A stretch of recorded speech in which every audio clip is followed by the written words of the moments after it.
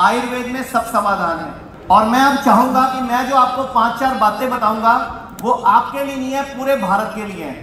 क्योंकि किसी को भी कभी भी हार्ट अटैक पड़ जाता है। तो मैं चाहूँगा, जो मैं बोल रहा हूँ, वो आप सब लोग रिकॉर्ड करो और फिर उस चीज़ को दुनिया तक पहुंचाओ कि फटाफट अगर हार्ट अटैक पड़ जाए तो क्या करना है? बीपी बढ़ जाए तो क्या करना है? शुगर बढ़ जाए तो क्या करना है? हॉस्पिटल जाने की ज़रूरत ही नहीं पड़ेगी।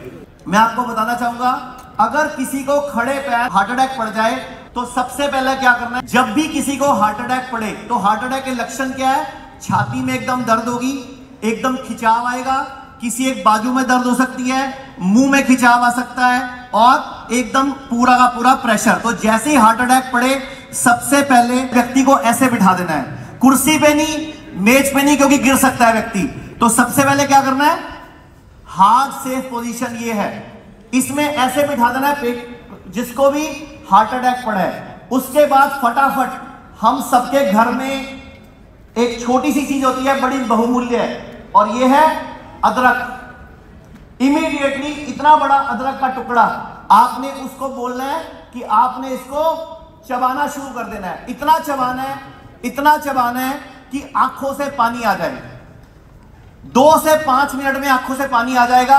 समझो आपकी ब्लॉकेज बच गई। सिद्धार्थ शुक्ला, के के, आप सब जानते हो, वो लोग हॉस्पिटल तक नहीं पहुँच पाए क्योंकि उनको हार्ट अटैक पड़ा और प्रॉब्लम हो गई। तो सबसे पहले हार्ट से पोजीशन फिर आपने खिलाना है अदरक। उसके बाद आप हॉस्पिटल ले जाओ, वैसे ही बच चुका होगा वो। क्योंकि इमीडिएटली बॉडी में नाइट्रिक ऑक्साइड का प्रोडक्शन बढ़ जाएगा और आपका वैसोडाइलेशन होकर नसें खुल जाएँगी।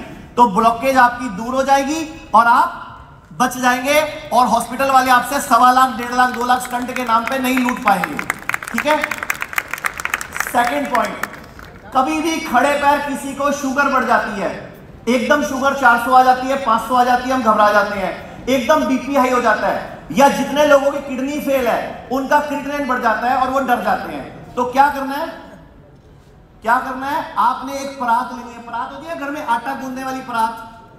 परात लेनी है और थोड़े से करेले और थोड़े से नीम के पत्ते, उनको चॉप चॉप करके ना बिल्कुल मैश मैश करके मिक्सी में मिक्सी में घुमा के उसको आपने उस परात में डाल के थोड़ा पानी डाल देना है और उसके ऊपर खड़े होके ऐसे ऐसे करना है। या कुर्सी पर बैठकर पैरों से ऐसे ऐसे करना है। दस मिनट के अंदर आपकी जीभ पर करेले और नीम का टेस्ट आ जाएगा। दस मिनट के अंदर मैक्सिमम दस मिनट में, बहुत ज़्यादा होगा तो पंद्रह मिनट में। और आप चेक करोगे, पंद्रह मिनट बाद आपकी शुगर नॉर्मल है। आपका बीपी नॉर्मल है। आपका क्रिटनाइन अगले दिन तक नॉर्मल आ जाएगा। और हम लोग हॉस्पिटल में जाके जो इंसुलिन शुरू हो जाती है, और हमारे को ज़िंदगी भर बोला जाता है, आपको शुगर की दवाई चलेगी बीपी की दवाई चलेगी, उससे हम बच जाएँगे। तो ये हो गया हमारा सेकंड पॉइंट अब तीसरा पॉइंट आपके घर में कई लोगों को शुगर होगी, कई लोगों को बीपी होगा। कई लोगों को जोड़ों का दर्द होगा, कई लोगों की लीवर प्रॉब्लम होगी, कई लोगों की किडनी प्रॉब्लम होगी। तो मैं एक जो तरीका बता रहा हूँ, अगर आप सब अपनाओगे तो कभी जिसको है, उसकी तो ठीक हो जाएगी, और जिसको नहीं है, उसको कभी होगी नहीं। तो करना क्या है? आज के बाद जब भी खाना खाना है, जब भी खाना खाना है, दो प्लेट में खाना है। Plate one, plate two. Plate one में वो होना चाहिए जो प्रकृति से आता है नेचुरल यानी कि फ्रूट्स सैलड या फिर जूस या नारियल पानी जो नेचुरल है, वो होगा प्लेट वन और कितना खाना है? आपके वज़न के हिसाब से. सुबह नाश्ते में जितना आपका वज़न है, गुणा दस कर लो. यानी कि अगर आप 60 किलो के हो तो 600 ग्राम 70 किलो के तो 700 ग्राम 80 किलो के तो 800 ग्राम. जो 50 किलो के 500 ग्राम. तो फ्रूट्स खाने हैं सीज़न के जो कल मिंद्रा सर भी बता रहे थे ना सीज़न के, जो कि अपने इलाके में मिलते हो, बाहर के फ्रूट्स नहीं खाने। तो पहले प्लेट वन में वो खाना है। उसके बाद प्लेट टू में जो आपका दिल करे, परोठे, कचौड़ी, पकोड़ा, टिक्की, समोसा, गोलगप्पे, भटूरे, जो दिल करे वो खाओ। लेकिन पहले क्या खाना है? अब आप लोग सोचोगे पेट भर जाएगा, कैसे खाएँगे? नहीं होगा। तीन से सात दिन लगेंगे। आप उतना ही खा पाओगे जितना पहले खा रहे थे। मतलब तीन से सात दिन में आप उतना ही खा पाओगे जितना पहले खा रहे थे। तो ये आपने ध्यान रखा। तो आपने पहले नाश्ते में 12 बजे तक प्लेट वन पहले फ्रूट्स कितना? वज़न गुणा 10 ग्राम, फिर ऊपर से प्लेट टू में जो दिल करे। उसके बाद लंच में वज़न गुणा पाँच ग्राम सैलेड खीरा, टमाटर, प्याज, मूली, गाजर, जो आपको लगता है, आप वो खाओ। प्लेट वन में। और प्लेट टू में जो आपको दिल करता है, रोटी, चावल, खिचड़ी, दाल, जो खाना है, खा लो। ऐसे ही डिनर में बस डिनर में एक काम करना है, कोशिश करो, सूरज डूबने से पहले खा लो, बस। अगर पूरा भारत ये तीन नियम अपना ले तो हमारे हज़ारों करोड़ का खर्चा बच जाएगा, हमारे बिल बच जाएँगे, हमारे देश का पैसा बच जाएगा, हॉस्पिटलों में भीड़ जो है वो बच जाएगी। तो ये आप कर लोगे? और कभी भी खाना खाने के साथ पानी नहीं पीना, आधा घंटा पहले या पौना घंटा बाद। और जो भी खाना है छोटी छोटी बाइट और चबा चबा के खाना है।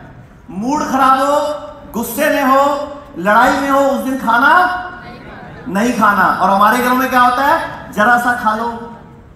मेरी कसम लगे खा लो। खाने से क्या नाराज़गी? है ना? तो ये आपने ध्यान रखना है, वो नहीं करना।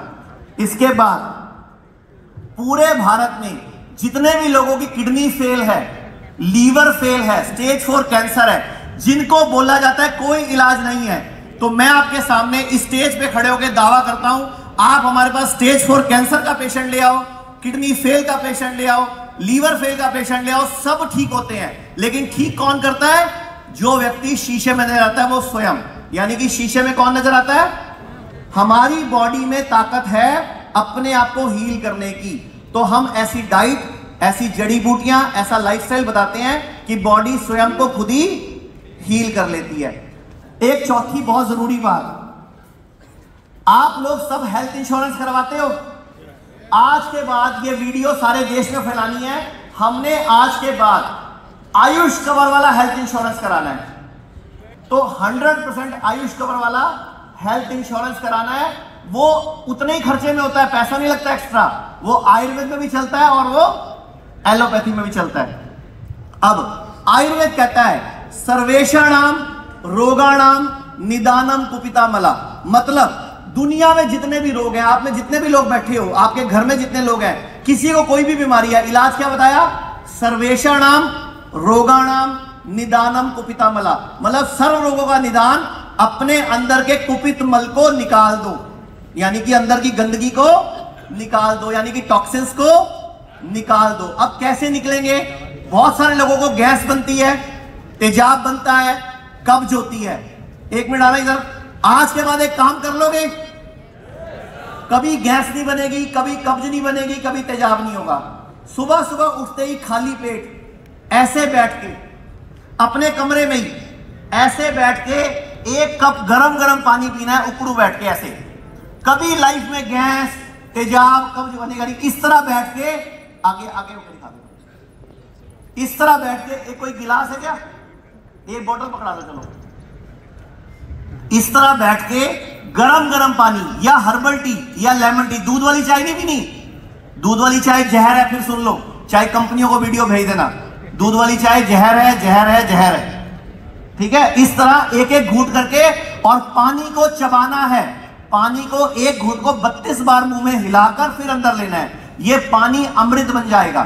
क्योंकि मुँह में जो लार होती है ना, वो मिक्स होकर जब अंदर जाती है तो पूरी पाइपलाइन को साफ़ करती है। पूरी फ़ूड पाइप पूरी इंटेस्टाइन पूरा अमाशय सब क्लियर हो जाता है। तो आपने एक कप पानी को ऐसे पाँच से दस मिनट में पीना है। जिस दिन आपने ऐसा करना शुरू कर दिया, सात दिन के अंदर आपका गैस, तेजाब, कब्ज, एसिडिटी सब प्रॉब्लम सॉल्व इवन की शुगर भी कंट्रोल होनी शुरू हो जाएगी।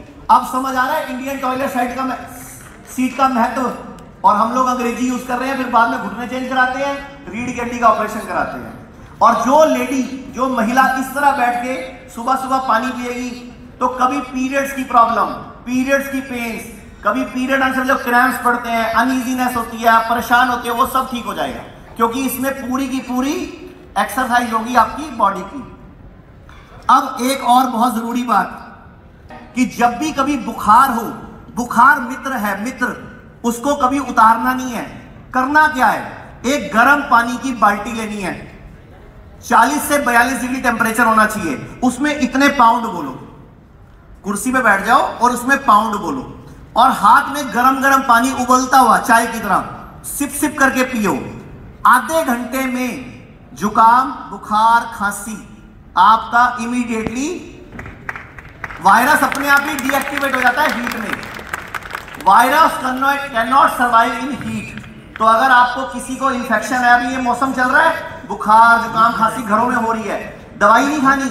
बस शर्त क्या है? लंघन परम औषधम, यानी कि तीन दिन उपवास करना है। बस जब भी कभी बुखार हो, जुकाम हो, खांसी हो, लंघन परम औषधम, यानी कि उपवास। लंघन मतलब सॉलिड खाना नहीं खाना, हल्का खाना। नारियल पानी, मौसमी का जूस या खीरा टमाटर, बस। इतने में आपका काम हो गया। तो आज के बाद एक चीज़ दिमाग में डाल लो कि हम लोग अपने डॉक्टर